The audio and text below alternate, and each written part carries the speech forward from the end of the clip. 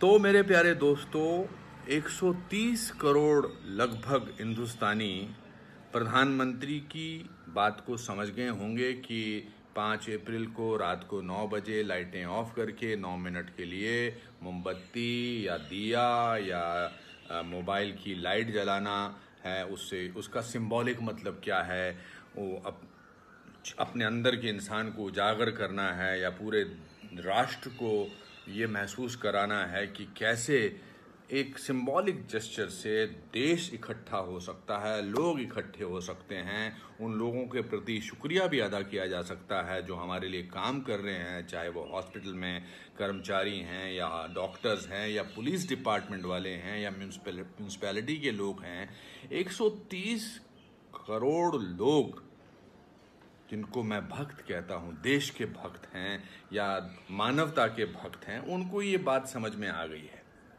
और वो ऐसा करेंगे।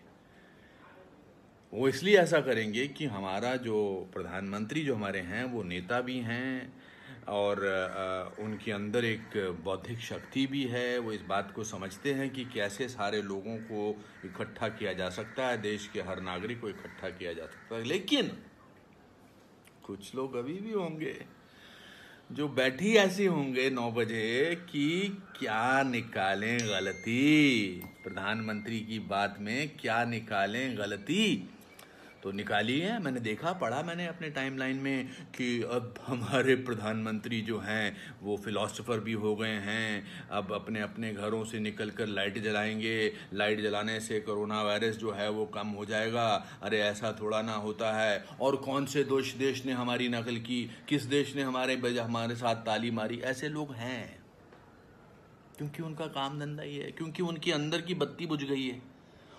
उनकी बत्ती भी शायद जल जाए नौ बजे। पाँच तारीख को। तो देश के इतने सारे भक्त हैं और कुछ कम वक्त हैं। ये फ़र्क है। तो जो कम वक्त हैं, उनको कुछ समझ में नहीं आता है। लेकिन जो देश के भक्त हैं, उनको सब समझ में आता है और वो करेंगे। So I was going through my first book called the best thing about you is you and I found a chapter here which is handling familiar blues It says there are many days when we get that down in the dumps feeling, those familiar blues, a feeling that nothing is going right, that nobody cares for you. How does one handle that?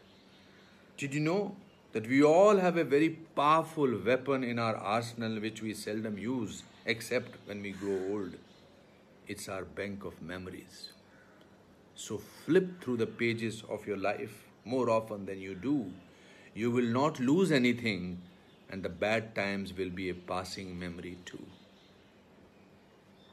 So go through your memories good memories, childhood memories, grown up memories.